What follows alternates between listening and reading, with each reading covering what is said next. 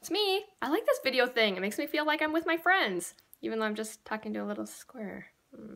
Um, anyway, so I don't know if you guys know this, um, but I am in Spanish kindergarten this year. Yes, it's really awesome. I'm going to be bilingual, and um, that's going to open up a lot of doors in my future and um, just give me a cutting edge in life. So, yeah, that's what I'm doing. But I just wanted to say that I am really, really well informed by my teacher. I get, you know, three to four emails a day just letting me know that I can go right ahead and and go through that uh, Spanish vocabulary. Um, I could rewatch the songs or the videos that we saw at school during class and in circle time and other parts of the day.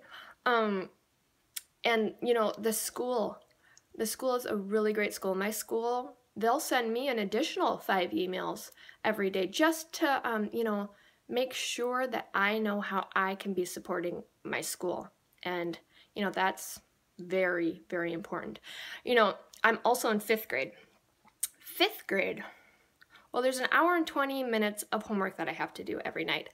Um, that's just basic. And then whatever assignments are on top of that. So, you know, maybe it will be two to three hours if I have a hard time concentrating. Um, and it might be a little bit hard for me to get started.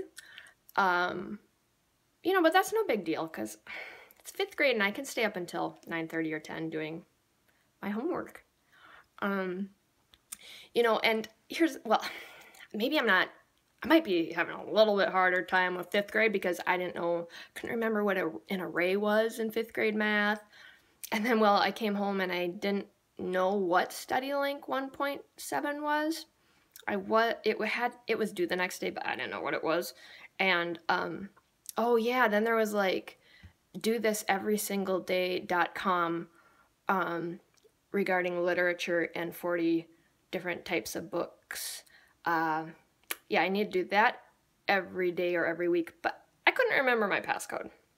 So you know, maybe fifth grade's a little bit trickier for me, but, um, you know, it shouldn't be, because here, here are my papers on, um, you know, all the ways that I can further my education and my learning, and, um, the different things, my mad minutes, and all the things that I just can do outside of the six hours of school. And so it's really six hours in school and like maybe six hours at home of homework. It's it's no big deal, right? Um, but you know, it's really great. My school has a partnership with me, um, with my parents. This is an open communication. This is a dual effort. And um, so I just really, I'm glad for that support, and I'm glad that um, what? Phoebe, what did you say? She says, I'm not in kindergarten. She says, I'm not in fifth grade. Please. I'm in kindergarten. I'm in Spanish immersion kindergarten. I am in fifth grade. I have a lot of homework, and it's a lot of work, and it's a lot of communication. It's a lot to keep up with, with my teachers, Phoebe. And no, I don't have time to play with you. I'm busy doing everything else that I gotta do that has been written down on my form when I come home from school.